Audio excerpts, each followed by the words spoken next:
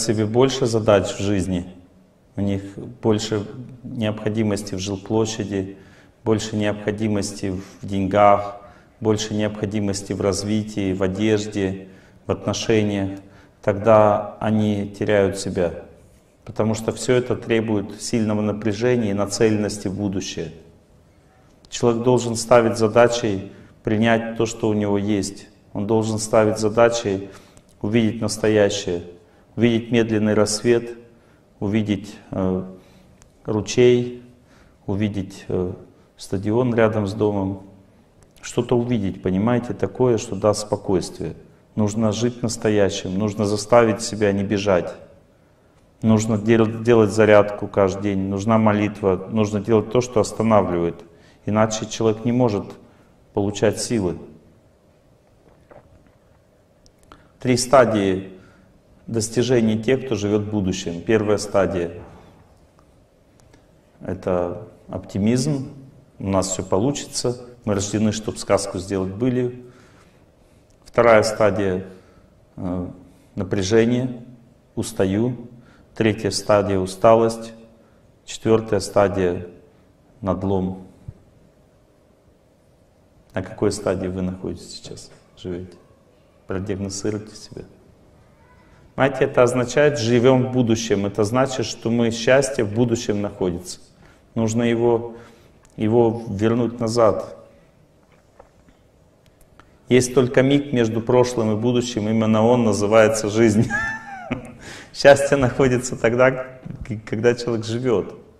Вот если из вас кто-то сидит сейчас, думает, что дети не накормлены, что здесь делать, вот, значит, вы живете в будущем, вы не получите лекцию. Или вы скорбите и думаете, конечно, это все хорошо, у меня уже возраст, вы живете в прошлом, значит. Надо жить настоящим. Надо принять свою судьбу, принять свою жизнь. Надо стать самоудовлетворенным. Это означает получить силы. Это первое, чего не хватает человеку в этом мире, это сил. Нужно иметь эти силы. Когда человек получает силы, он получает спокойствие в сердце, то а, это спокойствие дает им возможность развития другого плана, потому что в атмосфере спокойствия развивается разум. Что такое разум? Это сила, дающая возможность бросить вредную привычку, заставить себя что-то делать, принять правильный образ жизни, принять свою жену, принять необходимость работать там, где тяжело. Ну, то есть разум — это сила, дающая человеку возможность контролировать свою судьбу. Она только живет только в спокойном состоянии. Когда человек беспокоится, когда он напряжен, когда он суетится в отчаянии, в депрессии, в страхе находится, разум не работает. Разум работает, когда человек принимает судьбу. Нужно заставить себя стать счастливым. Нужно наполнить себя правильной силой, правильной энергией. Для этого нужно также немножко шевелить мозгами. Например, праны не хватает. Мы живем в джунглях каменных. Это дает свой отпечаток на пище. Если не хватает праны, в какой пище много праны? Сырой. Поэтому сырой пищи должно быть много в рационе. Много. Но если только одна сырая пища, наоборот, человек становится сначала сильно энергичным, потом напряженным. И начинает тоже нервничать из-за этого. То есть нужен баланс. Вареная пища расслабляет человека, дает ему энергию любви, сырая пища дает тонус, бодрость. В основном большинству людей сейчас не хватает бодрости, они все усталые. Посмотрите в автобусе на людей, все кислые. Это означает, что не хватает сырой пищи. Нужно есть больше салатов. Вы скажете, Олег Геннадьевич, денег много стоят салаты. Согласен. Поэтому я вам предлагаю уже такой на грани фола вариант. Так, такие варианты предлагают обычный мультиплай маркетинг. Они говорят о каких-то вещах, которые непонятно вообще, что это такое. Я вам сейчас предложу выход один необычный, но хороший.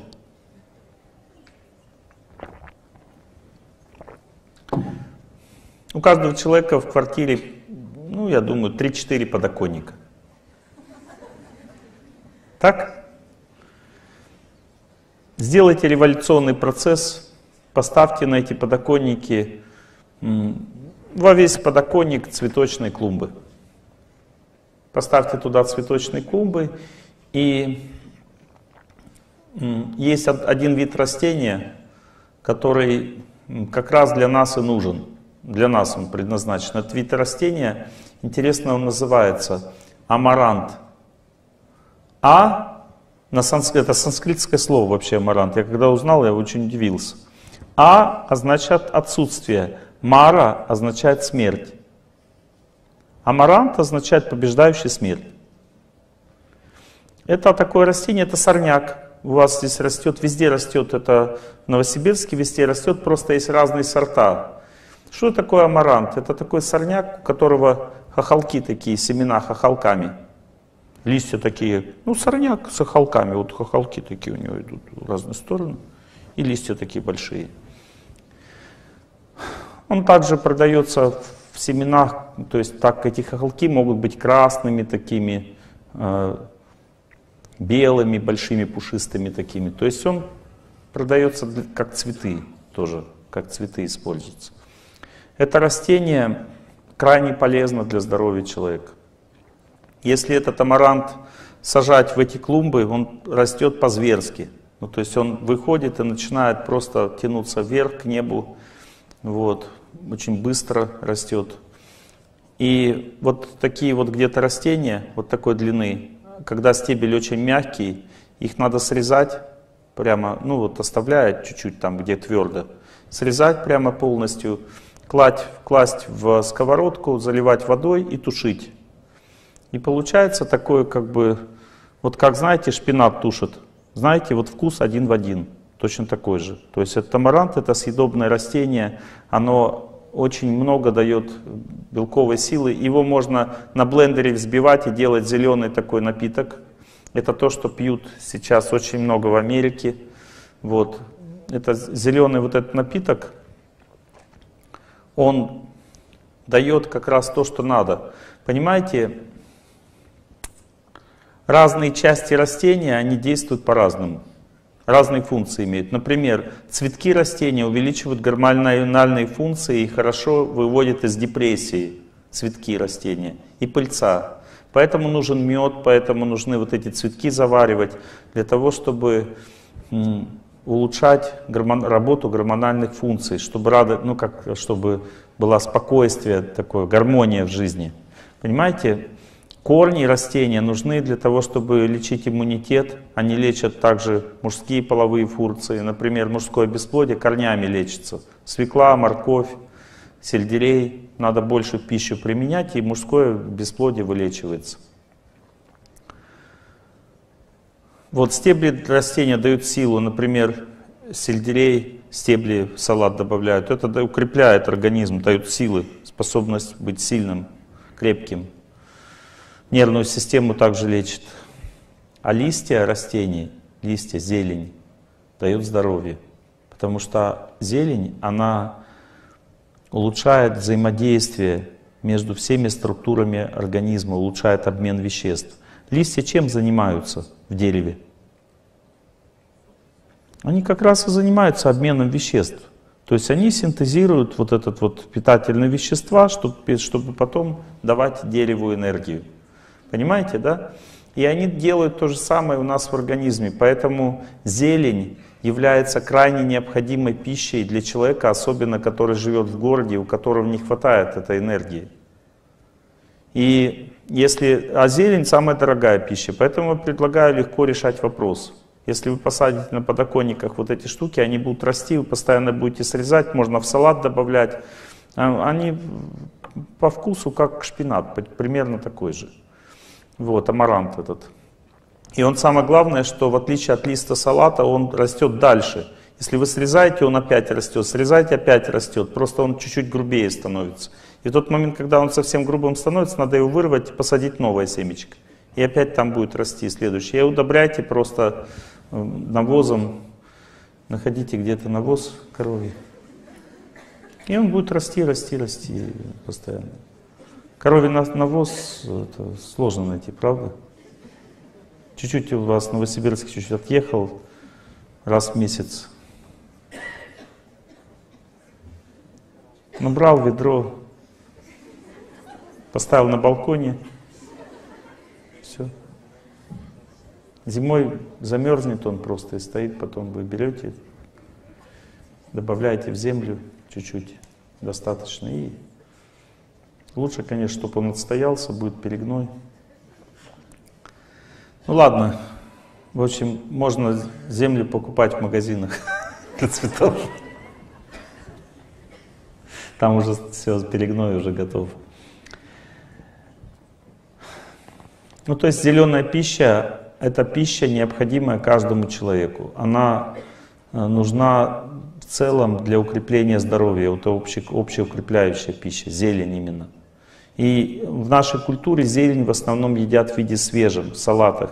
Я считаю, что это неправильно. То есть я каждый день, я что делаю? У меня амарантов в огороде растет очень много, соседи думают, это конопля. Ну, такие большие растения. Думают, наркоман улыбается все время. Вот, это амарант. Я им потом объяснить начал, объяснять, ликбез им устроил. Когда они поднимаются, еще зелеными становятся, я срезаю их, тушу и просто в морозильник кладу, замораживаю. Потом размораживается вот это уже тушеный амарант, и зелень эту можно каждый день есть. Я каждый день вместо тушеных овощей ем как раз вот эту зелень, когда дома очень сильно помогает для здоровья. Восстанавливаюсь капитально. Особенно если у человека больная печень, поджелудочная железа, кишечник, желудок. Это просто вообще подарок. Вот от тушеная зелень достаточно есть. Одной тушеной зелени, чтобы полностью вылечиться. Самое диетическое питание. Не надо ничего выдумывать, искать. Это самое диетическое питание. Сколько есть, сколько хотите. Сколько нравится здесь размер человека зависит. Женщины обычно меньше едят, мужчины больше. Итак, женское бесплодие.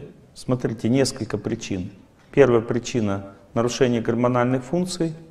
Означает, едим овощи, особенно сырые. Берем просто тыкву, кабачок. Как сырые овощи есть? Берете вот эти тыкву, кабачок и просто на блендере взбиваете. Вот подслащ, подслащиваете, и можно вот это как, как напиток пить там, или чуть-чуть тушить, чуть-чуть прямо туш, тушите любой овощ, и он полусырым становится, и он будет давать вот силу гормональным функциям. Плюс зелень, плюс свежий воздух, земля и вода. Все, гормональные функции восстанавливаются. Для женских восстановления гормональных функций еще нужны белые продукты. Это кунжут, это молоко, это кокос, авокадо. Вот эти белые продукты, они улучшают женские гормональные функции, связаны с Венерой. Вот. Если у вас спайки, спайки означает застывшая энергия, означает, что там скопилась вот эта энергия застоя в организме. Это значит аэробика, бег, гимнастика, движение, плюс посты. Когда человек постится, у него рассасываются спайки. Особенно пост первой половине дня. Когда солнце восходит, и ты ничего не ешь, у тебя все рассасывается ненужное. И еще в это время, если бегать, там, заниматься гимнастикой, лучше женщинам с музыкой что-то делать. Любые упражнения с музыкой, они лучше для женской психики, чем просто вот напрягать себя, заставлять делать. Спайки рассасываются в результате движения женщин. Движение нужно.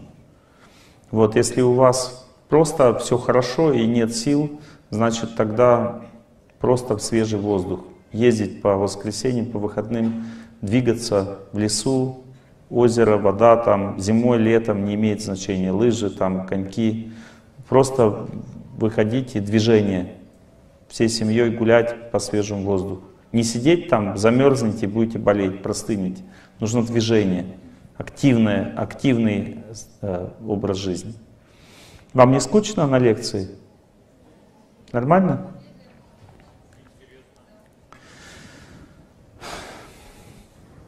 По женскому бесплодию какие у вас вопросы? Чего непонятно? Кисты означает то же самое, движение, не хватает движения. Вообще, если вы хотите от меня помощи, то есть такой камень змеевик. Вот насчет кист. Есть такой камень змеевик. Мы его исследуем много лет. Этот камень является чудом природы. Он, у него есть сила способствовать рассасыванию. Не то, что вы как бы змеевик поставили, все рассосется, ничего не делаете. Нет, надо помогать. Вот моя жена, она, когда бегала, она еще змеевик носила. И у нее вот узел стал в два раза меньше за два месяца. Это очевидный факт. Вот, то есть, как этот рекламная пауза. То есть, вы можете связаться с нашим центром, это стоит недорого. То есть, мы сделаем такой лечебный пояс, особенно вот кисты, вот эти все, но и без здорового образа жизни он не поможет. Лечебный пояс надевается на, на, на, на пояс, и там пластины со змеевиком. У каждого человека свое число и свой цвет. Кому-то подходит темный звик, кому-то светлый, кому-то больше зеленого цвета, кому-то больше серого цвета. Мы индивидуально подбираем камень, число и высылаем вам. Не надо к нам приезжать. Через неделю вы закажете, через неделю-полторы вы получите этот пояс уже одеваете его и носите где-то по два часа два раза в день. И он начнет там помогать рассасывать. Он сильно греет, жарко становится там. Ну, это. И плюс еще движение. И все восстанавливается, рассасывается не нужно. Ну, как бы силы природы надо помогать также в виде лечения. То есть можно камни, допустим, носить на себе. Это тоже помогает. Это уже вы можете узнать у нас на сайте торцнув.ру, там бесплатная консультация, как мы вам можем помочь, узнаете. Теперь э, следующая тема. Еще есть по бесплодию вопрос по женскому? Замершая беременность означает нехватка движения. Плод застыл, потому что ослаблен организм, вялый, там нет сил. Нужна ходьба просто, опять свежий воздух, опять земля, вода, все это стопроцентная гарантия, что все восстановится. Нужно движение во время беременности, понимаете? Женщина должна двигаться, она и, и вот замершая, беременность. замершая женщина, замершая беременность.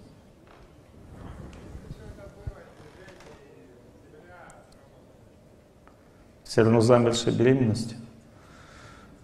Вот смотрите, если вы сами не смогли справиться, нужна помощь врачей. Мне нужен человек, я должен увидеть сейчас его, я вам скажу. Пойдите после лекции фотку покажите, я вам скажу, что нужно делать, что не хватает конкретно этому человеку. Все лечится. А? Я расскажу вам, может быть, завтра. Я не хочу сегодня перегружать вас технической информацией, это такая тяжелая тема. Давайте не за один день все, иначе вы опухнете. То, то же самое. Пояс плюс движение, плюс бег. А? Танцы? Нет, просто бег. Рано утром просто взялась, бег, бегать по километру просто вокруг дома. И плюс пояс носить. И плюс мясо не есть. К сожалению, мясо является стимулятором опухолей, роста любых опухолей.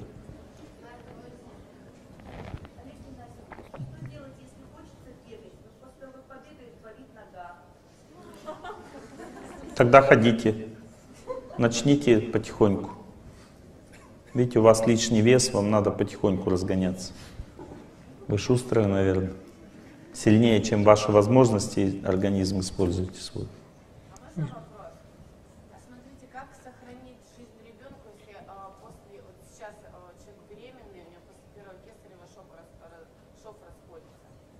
У женщины? Это значит, что матка перенапряжена, нужна, нужна вода. Нужно ее в теплой воде, женщину, держать по 40 минут в день. Не в горячей, в теплой. И расслабится матка, не будет расходиться шов. Это от напряжения происходит, сто процентов. И плюс легкое, мягкое движение. Перенапряжение тоже идет от гиподинамии. Плюс земля, плюс воздух. То есть больше быть на свежем воздухе.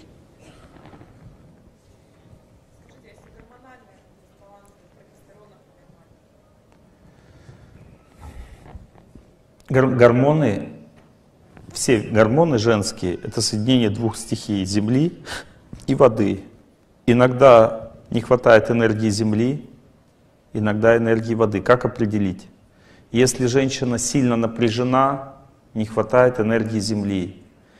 Если она а, некоммуникабельна, депрессивна, то есть у нее нет э, гармонии с окружающими людьми, обидчива, это значит, ей не хватает энергии воды. Просто по вот этим вот ощущениям определите, чего вам надо. И дальше увеличивайте эту, эту энергию в организме. Гормоны означают энергией. Пытайтесь это понять. Это просто лечить. Балансом со стихиями. Нужно дружить со стихиями.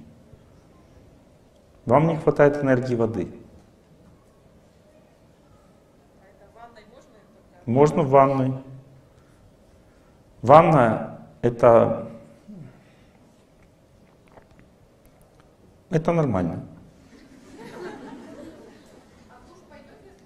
Нет. Душ это уже другая энергия. Энергия воздуха. Тазик, ножки ставить тазик, маленькая ванна. Тоже от тазика будет расслабляться тело.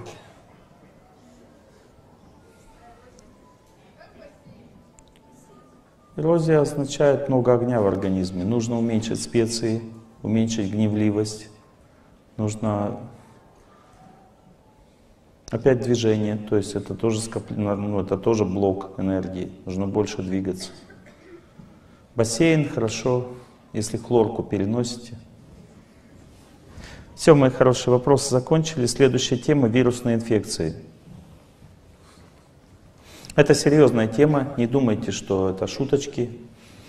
Я недавно перенес вирусную инфекцию, хоть я и лечусь.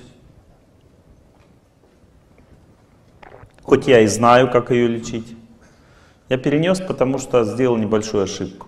Я заболел вирусной инфекцией, почувствовал, что у меня есть вирус, и сделал себе очень сильную нагрузку, бегал, очень холодный воздух, и потом сразу в самолет. Ну, то есть несколько стрессовых для организма факторов, и вирус начал размножаться. То есть я ему дал возможность просто. Ну, вообще, в целом, это вот первый раз за год, когда я заболел простудой. Я вам сейчас расскажу, что такое вирус, как он действует и что он с нами делает. Если вы чувствуете, что у вас слабость такая сильная, и плюс ощущение, как будто бы вы чуть-чуть потеете, такое как бы недомогание длится какое-то время, то это значит, что у вас вирусная инфекция. Если у вас есть легкий насморк, першение в глазах и легкая тяжесть в голове, сильная повышенная раздражительность, это значит вирус уже в организме. Если вы тем более кашляете, чихаете, это 100% именно вирус в организме. Если вы чувствуете, что у вас недомогание плюс расстройство кишечника, это вирус в организме. Если чувствуете, что у вас недомогание плюс ломит кости, суставы, когда вы ложитесь спать, как будто тело немножко такое ломит, Э, чуть спутанное сознание, теряется воля, ничего делать не хочется. Это вирус в организме. Понимаете, вирусы в организме сейчас могут сидеть несколько месяцев. И постепенно они разрушают иммунитет, и люди потом дальше подвержены хроническим заболеваниям. Я думаю, что сейчас 30% людей в зале имеют вирусную инфекцию в этом зале. То есть я говорю сейчас не о спорадических случаях а частых. Теперь, сам метод лечения, способ лечения несложный вирусной инфекции, несложный. Просто надо это делать каждому человеку. Первое, что нужно понять, что большинство вирусов уничтожаются двумя деревьями. Сосна, елка. Как уничтожить вирус? Для того, чтобы его уничтожить, вам надо зайти на сайт торсунов.ру и посмотреть, как привязывать елку и сосну себе на руки, на ноги. Я не буду сейчас это подробно объяснять, там все подробно объяснено. Потратьте 20 минут времени, прочитайте. На первой странице сайта у нас совершенно бесплатно, некоторые там в интернет меня критикуют, за 100 баксов вас Тарсунов полечит ветками сосны. Бесплатно. Гарантия. Ну, то есть заходить на сайт, там, там э, описано, как ветки на себя ставить. Это нужно делать, когда уже чувствуешь, пошло. То есть глаза слезятся, нос першит, там все, симптомы тоже описаны на сайте. Дальше, теперь будем говорить не о том, как это все ставить на себя. Вот это, когда вы ветки на себя поставили, 4-5 дней, до свидания, вирус. Понимаете, в первый же день работоспособность сразу, температура спадает, насморка нет, то есть человек чувствует себя хорошо, но поносить надо подольше. Дальше, следующий метод, белый перец. Белый перец, 4 горошины 3 раза в день. Белый перец лечит вирусные инфекции. Большинство вирусных инфекций лечит белый перец. Следующий продукт, имбирь. Просто жевать перед едой. Каждый раз, когда кушать начинаете, сначала можно с медом смешать с медом белый перец. Есть такой рецепт, можно так сделать. Куркума, специя, смешивается с медом и с белым перцем. Еще сильнее будет эффект. Это профилактика. Можно каждый день зимой есть, чтобы не болеть вирусными инфекциями. Следующий продукт – имбирь. Имбирь также привязывается, как сосна. Берется бляшка имбиря и привязывается на руку, на ногу тоже лечится. Можно пить напиток имбирный, просто его резать и, и заваривать с ним воду. И получается вот этот вот имбирь, острый такой напиток, можно чуть лимона добавлять, тоже лечит вирусную инфекцию. Именно убивают вирусы эти растения. Иногда какие-то виды вирусов убиваются желтой горчицей. Можно горчицу в носки сыпать и спать с ней. Такой легкий горчичник будет он именно рефлекторное воздействие идет. Я, допустим, не переношу сосну на руках. Я когда ставлю, мне плохо становится, очень сильное воздействие идет. Представляете? Дерево, когда на руке, очень сильно действует на организм. Я ставлю сосну рядом с собой, набираю свежих веток сосны, ставлю в вазу с водой, они две недели спокойно стоят. И когда спать ложусь, в изголовье ставлю и все, и утром просыпаюсь, уже все хорошо. То же самое можно ставить, а, когда ты работаешь. Она повышает тонус, работоспособность, ну и убивает вирус в организме. Просто рядом, рядом находясь, дерево находится рядом, в организме вирус уничтожается. Такое, такая сила. Не пихтовое масло, не сосновое масло, а именно дерево, понимаете? Фотография жены жену не заменит. Мы говорим сейчас о психическом воздействии, а не о там, каких-то экстрактах, вытяжках. Там. Некоторые думают, что если масло взять из сосны, эффект влияния на вирус будет десятки раз сильнее. Бред сивой кобылы. Десятки раз сильнее действует само дерево сосна. Самый сильный эффект я ощутил в Москве, это был переломный момент в моей болезни, когда у меня лекция была в Измайлово, там рядом парк есть. И мы там побегали в этом парке. Я опять на, на холодном воздухе пробежался. И в тот момент, когда вирус активизировался от холода, я в этот момент встал рядом с сосной, там сосны растут, и простоял 20 минут. Вот это вот то, что происходит во время того, как человек стоит с деревом, это потрясающая вещь. У нас есть разные там психические каналы, и их как бы они друг за другом, как матрешки находятся. Я просто их чувствую, эти каналы. И когда я встал к сосне, я увидел, как дошло до нервной системы, именно нервную систему поражает вирус, то там все напряглось внутри, и эта энергия сосны пробила просто вот эти каналы все, я, и, ну, и начала убивать просто вирусы у меня на глазах. Я прям чувствую, что вот их активность падает, я могу их чувствовать, эти вирусы. И это было потрясающе. 20 минут достаточно стоять рядом с сосной, вот прямо я прислонился и стоял, чтобы полностью вот поменялась картина лечения. То есть был переломный момент. То есть что произошло? Мой организм перешел в решительное наступление по отношению к вирусу. То есть вирус не был полностью уничтожен, но переломный ход, ход событий переломался. Вирус был задавлен, понимаете?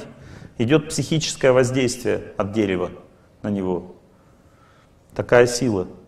Представляете, если человек с туберкулезом, допустим, будет вставать, вставать каждый день, минут по 40 стоять возле вот так сосны. Представляете, какая сила будет? Это капитальное лечение. Капитальное лечение. Я уверен просто. Она реже, понимаете, каждый штамм и вируса там свои как бы особенности. Мы заметили, что гораздо реже ель подходит, чем сосна. Может быть в процентах 20 случаях разных штаммов вирусных инфекций. Но если у вас в наличии есть белый перец, имбирь и сосна, и плюс еще ель, то вы точно, ну, точно сможете выбрать из этого, что вам подойдет. Кедр тоже подойдет. Все хвойные деревья лечат вирусные инфекции. Просто я говорю вам наш опыт. Сосна больше всего подходит. Белый перец и бирь больше всего подходит. Иногда подходит горчица, иногда черный перец. Мы иногда используем, знаете, какой рецепт, тоже очень сильный. 10 горошек белого перца, 10 горошек черного перца. Привязываем повязки на руки, на ноги. Вот такая сила тоже. Черный плюс белый перец очень сильно действует. Хороший метод тоже. Они разные штаммы берут вместе и уничтожают. Можно, можно имбирь, сосну, черный белый перец вместе привязали. Только как привязывать у нас на сайте, посмотрите, чтобы вам точно... Это самое лучшее, потому что что-то из них подействует. Правильное мышление, чтобы времени терять.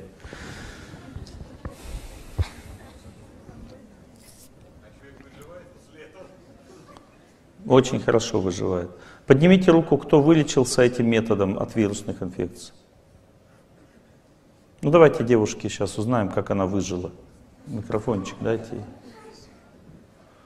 Ну, нужен какой-то опыт, чтобы вы поняли. Ну, на первый ряд. У нас есть фестиваль «Благость». Кто из вас был на фестивале «Благость»? Поднимите. Хорошо. Вот на этом фестивале «Благость» люди вот вместе тусуются, там 700 человек, две недели.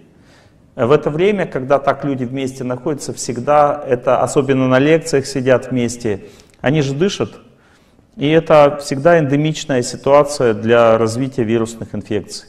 И мы поэтому всегда там на фестивале, у нас дежурный есть человек, любой человек может прийти в, в течение дня, и ему привязывают сразу сосну. Чуть-чуть хуже стало, и поэтому у нас люди там не, ну, не ложатся с инфекцией, они сосной ходят, чувствуют себя хорошо и выздоравливают, понимаете? То есть это опыт многолетний уже. Поэтому как бы у нас нет сомнений, что это очень сильно работает. Расскажите. Летом отдыхали на Алтае. Так. Простыл.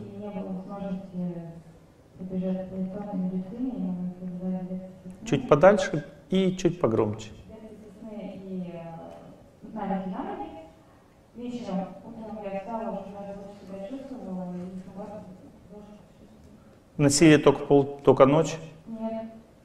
У меня утром и еще Ну, сутки где-то носили, да? Или двое? Вот она двое суток поносила, все прошло. Плохо себя почувствовал, двое суток поносила, все прошло. Все, так действует быстро. Никаких осложнений, ничего. Еще кто вылечил? Ну, расскажите, мужчина, вот расскажите, как вы вылечили. Ну, чтобы вы думали, что я тут вам не басни рассказываю. Я, на самом деле, только на ночь. То есть я болел долго, где-то месяца полтора. Ходил с вирусом, да? Да, да, да. И у меня вся семья болела. Потом я вспомнил вот это ваше наставление. Вспомнили через полтора месяца, да? Нормально, нормально. Хотя бы не в гробу вспомнить. Я пошел в лес, наломал здоровый букет э, поставил в каждой комнате. Ну и сам на ночь себе поставил. И у меня сразу все дети выздоровели, и сам тоже поправился. Видите, все вот так работает. Вот вам конкретные примеры. Пожалуйста, будьте серьезны по отношению к вирусным инфекциям. Это серьезный бич. У меня есть один знакомый врач, который вылечил просто весь город. И он все равно оставил тело благополучно. Это вирусная инфекция. Ну, то есть это сильная, большая штука, сильная очень штука, разрушающая жизнь. Будьте внимательны. Причина, почему я не мог ему помочь, потому что он уже запустил ситуацию. Он уже несколько месяцев болел и тогда только ко мне обратился. Поэтому сразу, как только началось, сосна, елка, белый перец, имбирь. И все, и будьте здоровы.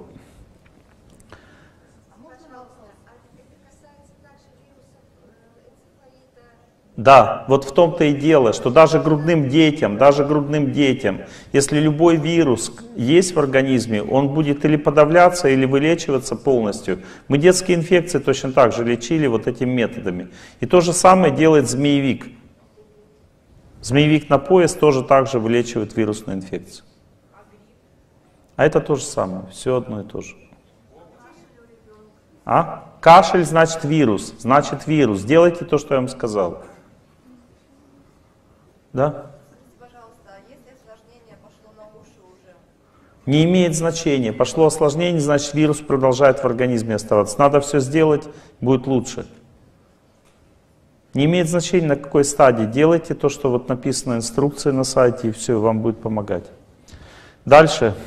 А можно еще вопрос? А, вот это лечение все-таки относится к вирусу, который ближе вот, к простудным. У нас же на самом деле существует куча вирусов в организме. Да, ближе к простудным. Но оно влияет на все вирусы. Например, на гепатит это уже не так будет сильно влиять. На туберкулез будет влиять достаточно сильно. Герпес тоже достаточно сильно будет влиять.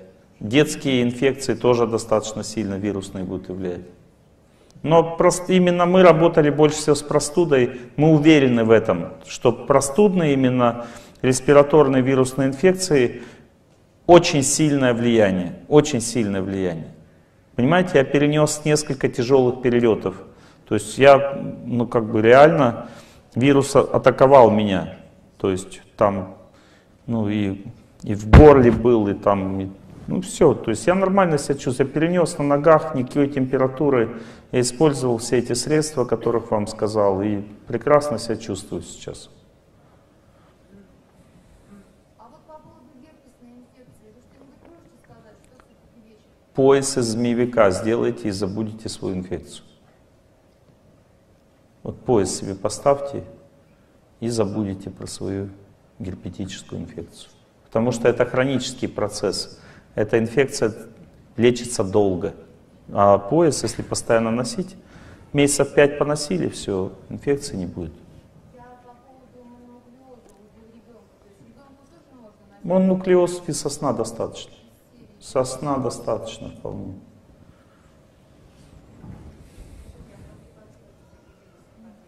А по гепатиту, вот знаете, как ни странно, появилась такая информация, я несколько случаев уже знаю.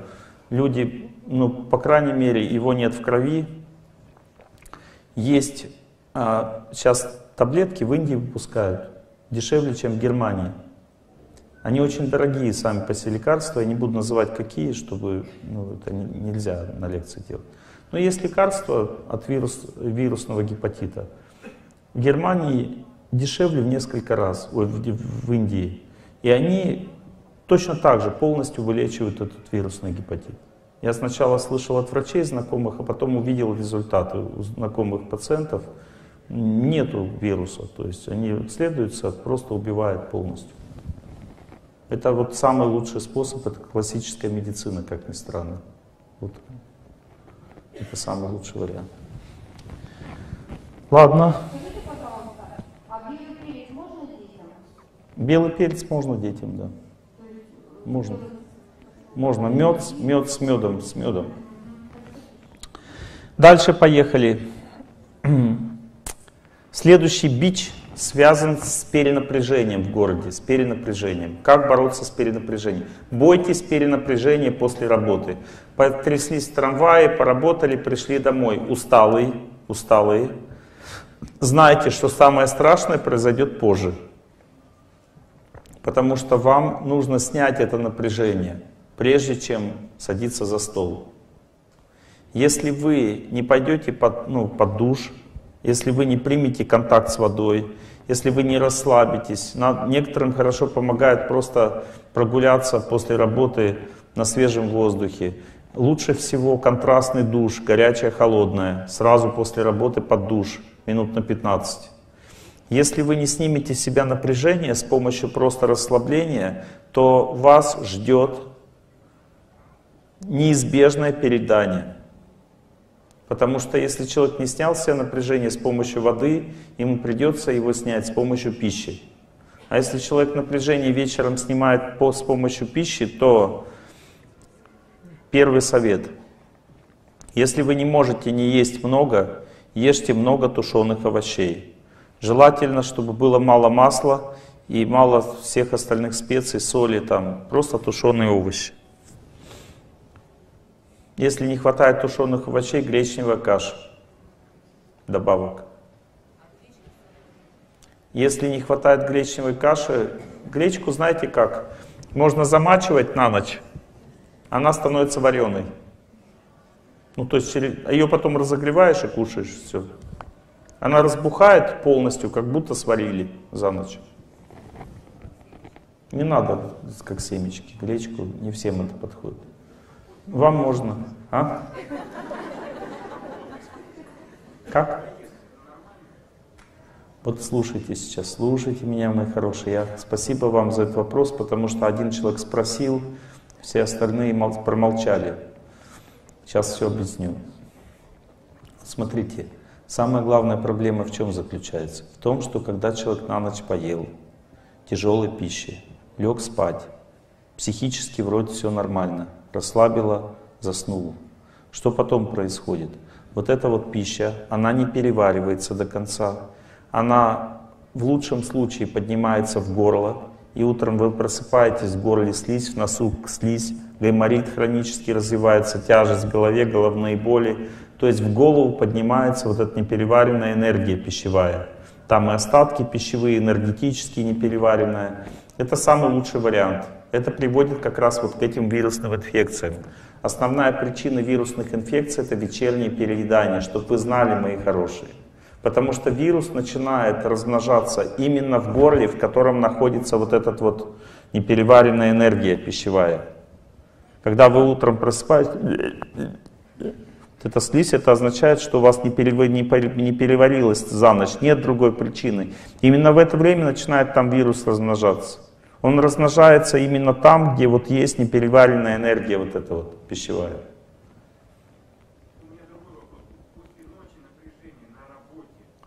После ночной, ночной работы.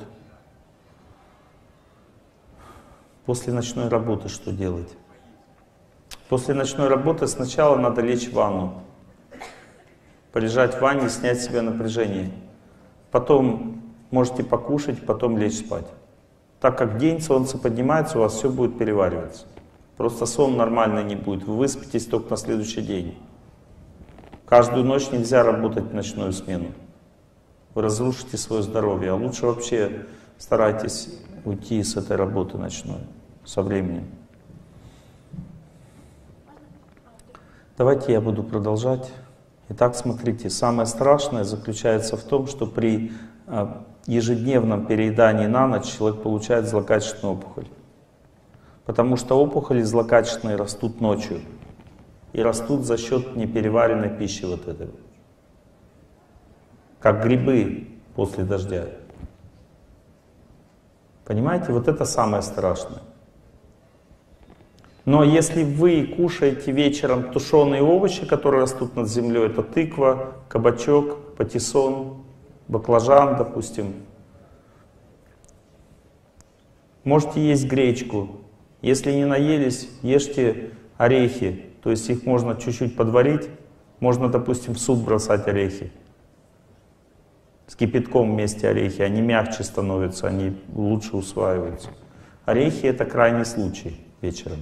Зелень очень хорошо подходит вечером, зелень. Тушеная зелень, она белковая, вкусная, и она полезная, и она хорошо переваривается. А молочное уже нельзя вечером есть. Только молоко можно с медом горячее, и то немного. И то не перед самым сном, а чуть пораньше. Да?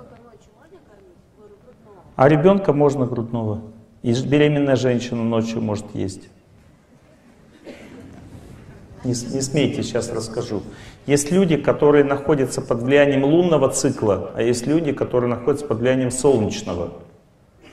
Дети до 5 лет, беременная женщина, кормящая женщина находится под влиянием лунного цикла. Это значит, что они кушают, когда хотят, спят, когда хотят. В это время человек находится под влиянием Луны, и поэтому он по другому графику живет, понимаете? У него лунное пищеварение. Поэтому дети маленькие, они что в основном едят? Сладкое и молочное. Это лунные продукты. Понимаете, у них под цветом луны пища переваривается. Поэтому они как бы не зависят от солнца. Поэтому они спят, когда хотят есть, когда хотят, и ничего плохого не будет. Но если ребенок болеет постоянно вирусными инфекциями, следите, чтобы на ночь не ел, все равно. Значит, ослабленный организм.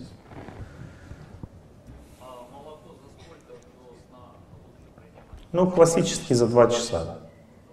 Да, ну вот я как бы, у меня сильное пищеварение, я, я пью, пью и спать ложусь. И мне нормально. Но не всем подходит такое. У некоторых слабое пищеварение. Меня молоко расслабляет конкретно, то есть я молоко попью с медом и просто вот после лекции тяжелый труд психический. Олег Геннадьевич там, ну, знаете, да? Я уже такой иду. Олег Геннадьевич, еще один вопросик. Вот, и э, уже такой, все, вот, и потом молоко с медом просто очень сильно расслабляет, и вырубаешься, никакой слизи утром, ничего, то есть психика принимает этот продукт конкретно. Но некоторым, если поздно пить, у них слизь появляется. То есть здесь зависит от силы пищеварения. Я просто один раз в день ем, вечером только молоко и все. Поэтому огня, огня хватает, чтобы переварить. Если нет никакого, то подходит любое. Я в Москве порошок молочный разбавлял и пил. Ну, как бы надо... И поэтому и фрукты тоже нужны. Даже эти геномодифицированные. А что делать, если нечего больше есть, без фруктов тоже не проживешь. Они оптимизируют организм, дают оптимизм человеку.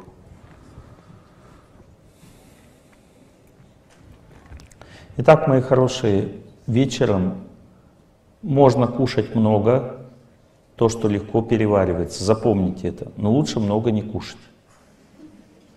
Если вы не можете, вы хотите, значит у вас должна быть правильная пища. Я вам перечислил зелень тушеная, овощи над землей, которые растут не под землей. Дальше гречка и такие орехи, как кешью, а, грецкие орехи. Они успокаивают. А миндаль и фундук они тонизируют. На ночь не очень хорошо. Кедровые тоже нормально. Но они как бы вот тоже могут нарушить сон, в принципе. Смотрите по себе сами. Все разные люди. Мужчина, если сильно тяжело работал, может побольше поесть. Женщина там дома сидела, может не обязательно вообще на ночь есть. Чем больше человек трудился, тем больше, сильнее у него пища переваривается. Набегался весь день, голодный, как бы это... Ну, человек не должен голодный спать ложиться. Если он голодный ложится, еще хуже, он заснуть не может. Ну, то есть покушать надо, но только понятно, что нельзя зерно есть на ночь. Напрягать зерно – это напряг... пища, напрягающая психику.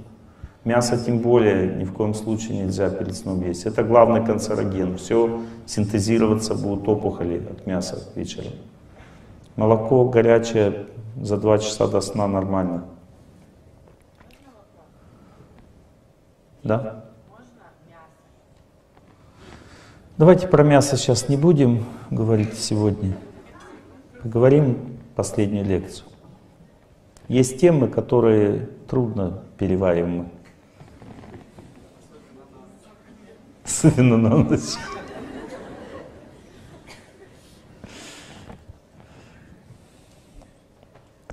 Итак, смотрите, если вы нашли рядом со своим домом дерево, больше вас размерами, шире вас по размерам, и встав к этому дереву, вы чувствуете, что вас расслабляет, вас легко, не напрягает, не отталкивает это дерево, то это значит, что вы нашли себе один из самых лучших способов лечения. Я вам серьезно говорю, это капитальная просто сила. Ну, то есть, что делает дерево? Она прочищает тонкие каналы. Мне, чтобы прочистить тонкие каналы, нужно или день ничего не есть, поститься. Я предлагаю вам варианты просто. Второй вариант. Два часа йоги. Каждое упражнение делается не меньше 20 минут. То есть я не двигаюсь долго в одном положении, прочищаются каналы.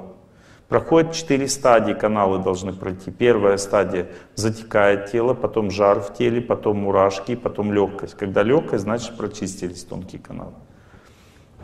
Так вот, знаете, того же результата, который я достигаю за 2 часа упражнений, достигается за 20 минут стояния возле дерева. Толще человека по размерам. Неважно, какое дерево. Все деревья лечат. А? Стоять не надо обниматься, это не мужик. Вот. Стоять надо спиной. Встали вот так. И желайте всем счастья. Главная проблема это люди, которые проходят мимо.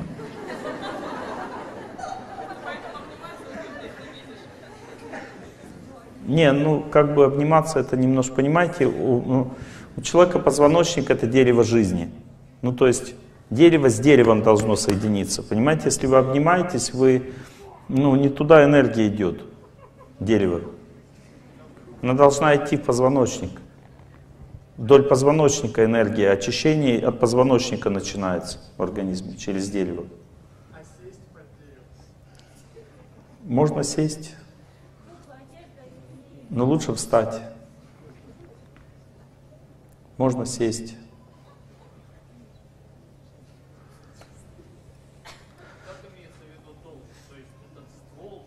Ствол толще, да, да, толще человека, вот чуть-чуть. Даже и тоньше можно, но только оно будет тонизировать. Тонкое дерево, оно напрягает немножко, а толстое, большое, оно будет расслаблять, очищать и давать силы. Если каждый день по 20 минут стоять, допустим, недельки две, можно курс лечения пройти, вы можете избавиться от какого-то хронического заболевания. Нельзя сказать заранее от какого, потому что Каждое дерево будет свои каналы тонкие прочищать. Оно не может все вылечить в организме, оно будет лечить что-то. Но, по крайней мере, что-то оно вылечит. Если у вас оно вообще ничего не будет лечить, то вы стоять рядом с ним не сможете. Потому что его энергия начнет вас напрягать. Вы будете чувствовать тяжесть во всем теле, напряжение, головную боль после этого. Значит, не ваше дерево. Понятно? То есть надо найти то, которое не напрягает. Вам легко становится. Значит, вся энергия пошла в лечение этого дерева.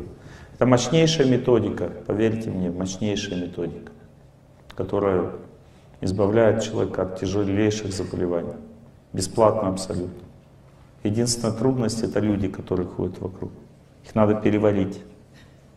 Или просто глаза закрыть, не смотреть на никого. Можно посадить, через сто лет примерно будет оно уже готово для того, чтобы лечить вас.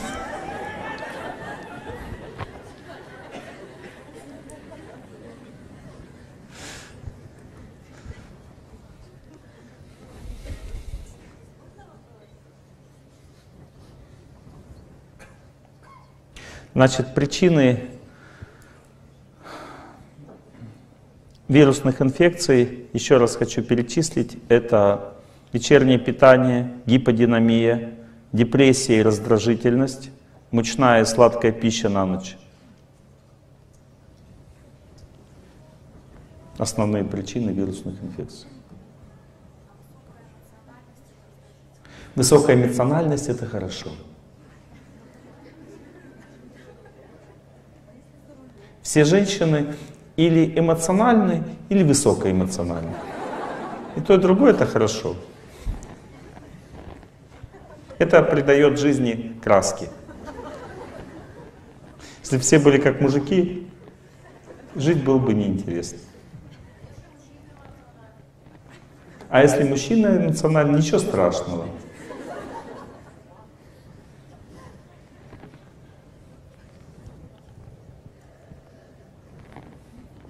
Это значит, что он дополняет неэмоциональную жену. Ну ладно, двигаемся дальше. Следующая тема мегаполиса — это тема напряжения. Знаете, что мегаполис напрягает всех людей. То есть трамваи, автобусы, вибрации, отсутствие природы, высокие этажи — все это напрягает.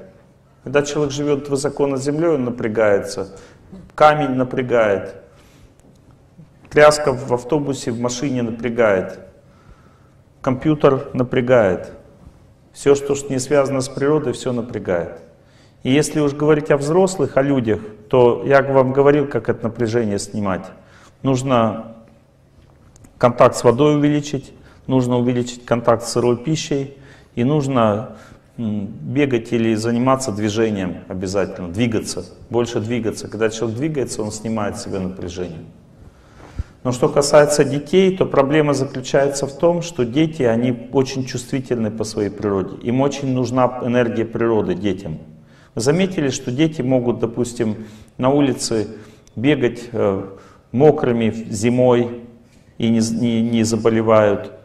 Они могут там по лесу в воде купаться часами, не заболевают. Они могут по лесу бегать часами, не заболевают. Но если ребенок сидит дома и никуда не бегает, он точно заболевает. И причина заключается в том, что ребенок это не взрослый человек. Так как он растет, ему вот эта энергия природы нужна в колоссальных дозах. Поэтому дети рвутся на улицу. Мама, мама, я хочу гулять. Почему он хочет гулять? Потому что ему, он задыхается, ему в доме очень тяжело. Ему нужна природа, понимаете? Если нет природы у ребенка, нет жизни. Теперь поймите, почему вот эти все аутизм, слабоумие, отсутствие речи у ребенка, напряжение сильное, ДЦП там, и, и все прочее. Это означает нехватка природы. Только и всего. Попытайтесь это понять. Главная причина. Не хватает энергии, которая даст человеку жизнь. Он напряжен, потому что он не адаптирован к городу, как мы. Это мы находим здесь себе возможность жить. Но дети, им, нужна, им много нужно, много, природы нужно, много природы.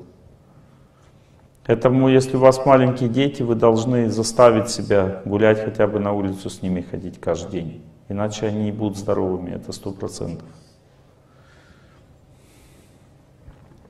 Детям нужно движение и воздух. Движение и воздух, нужна природа. Если у вас дети сильно замкнутые, не могут учиться, не могут сосредоточиться, они плохо соображают, у них плохая память, плохо разговаривают начинают, это вся одна и та же причина, напряжение внутреннее. Ребенка может расслабить вода, свежий воздух и движение. И те же самые деревья, но ребенок не будет стоять возле дерева, он подвижное существо, он не может вообще нигде встать на, на, даже на одну минуту, ему надо постоянно двигаться.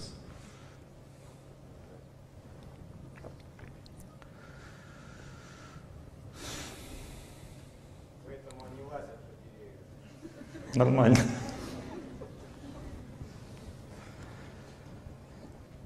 И еще насчет детей. А, бытует мнение, что ребенок должен кушать то, что и все. Это иллюзия. Дети маленькие, у них три вида пищи всего. Это сладкое, мучное и молочное. Запомните. Именно этого они и просят постоянно. Эта пища дает рост человеку. Чем взрослее ребенок, тем меньше ему нужна эта пища. Чем больше маленький ребенок, совсем маленький только одно молоко. Потом подключается мучное и сладкое. И ребенку также нужны сладкие фрукты. Не все фрукты, а сладкие фрукты только. Бананы, там, яблоки сладкие, груши, сухофрукты, да. Ну вот, лучше вместо конфет мед делайте. Давайте им просто сладкий вкус. Приучайте к сладкому вкусу, а не к конфетам.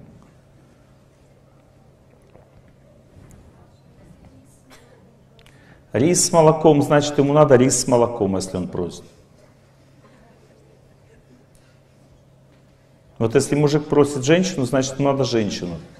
Если ребенок просит рис с молоком, значит, ему надо рис с молоком. А вообще молочные каши. Если все вместе, молоко, рис плюс сахар, самый лучший вариант для ребенка вообще. И еще меда добавить, да.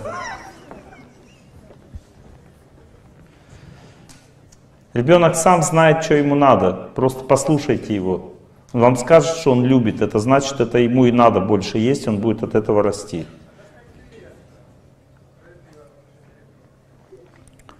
До 12, 10-12 лет. Потом уже переходит на солнечный ритм жизни и на больше на обычное питание, как взрослый ребенок переходит. Но все равно сладкий вкус до 15-16 лет остается достаточно выраженным. Все равно.